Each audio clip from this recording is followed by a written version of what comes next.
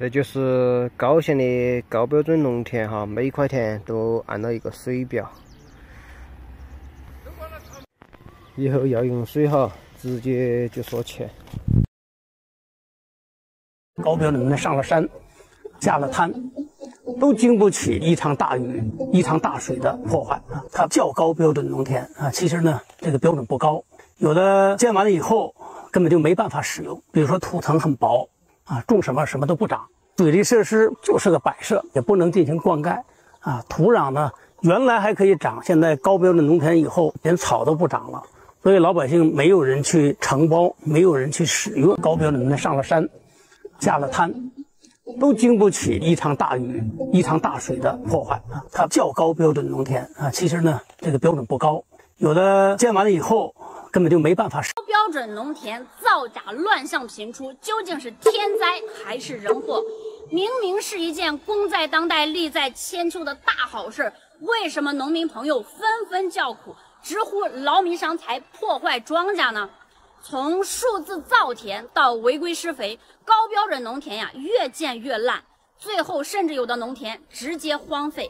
这种现象在高标准农田改造的过程当中可谓是屡见不鲜，不少农民都在担心自己家的农田经过改造，最终会不会也变成一块中看不中用的荒田？针对这种现象呀，农业农村部已经明确表态。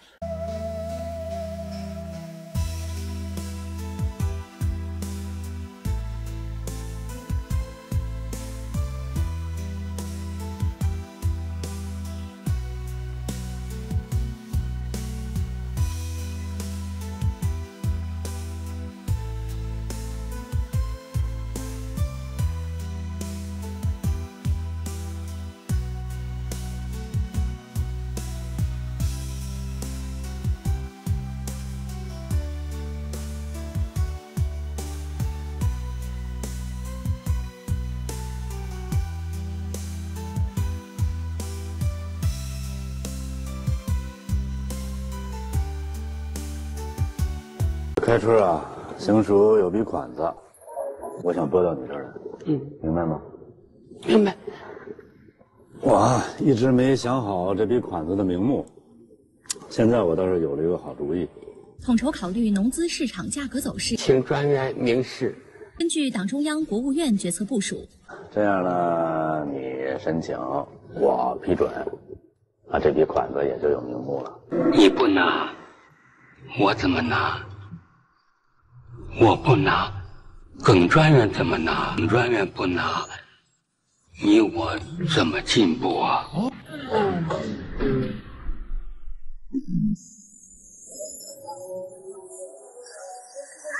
以这个基本农田的名义，把我们投资了这个五六百万的这个农家乐拆除了，并且呢，拆除之前我们进行了多地多次的整改，相关部门呢也说我们整改合格了，而现在呢，这边却建起了这个停车场，全部都是建起了停车场。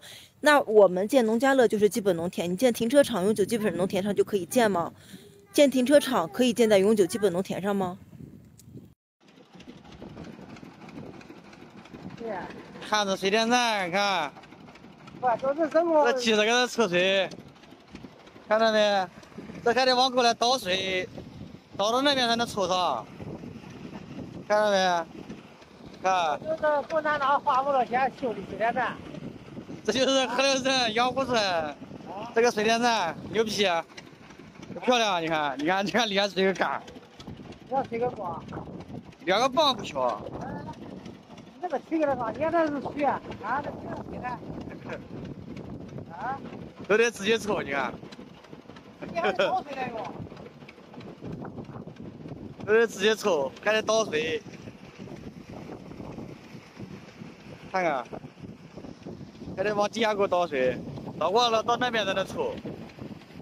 自己家的地种的粮食，然后留成种子自己种，居然被种子公司给告了，还罚款十万，我真的不能理解，请原谅我的文化比较低啊，我完全不能理解，地是我自己家的，那种子我是向你买的，那第二年是我自己的地生产出来的粮食，我用自己的粮食再去种这个地，请问我伤害了谁？我侵犯了谁的利益？居然还要被罚款，我完全想不明白呀！请原谅我王思龙文化比较低，我看到这样子的事情的时候，我特别的震惊，特别的气愤。没有想到种地还有这样子的风险，本来我们农民就是弱势群体了，还要被一些所谓的农业公司这样子去欺负，天理难容，天地良心何在呀？我此时此刻，我突然就想到了我返乡当新农人的初心，要不忘初心啊！我返乡当新农人的初心，就是看到了广大的农民朋友被这些所谓的农业公司欺骗欺负，我看不惯。然后我有这个情怀，我觉得需要有更多的年轻人来加入到新农人的阵营当中来，当好这个乡村带头人，至少让我们农民不要被欺负。全国全国的农民都特别辛苦，但是国家在提倡建设高标准农田、守住十八亿耕地红线的大前提下，有没有找到切实解决农民？不愿意种地的这个根本性问题呢。如果这个根本性问题不解决，再建设再多的高标准的农田，哎，这个粮食安全。你本来就能，你就看不了。你家本来就是粉。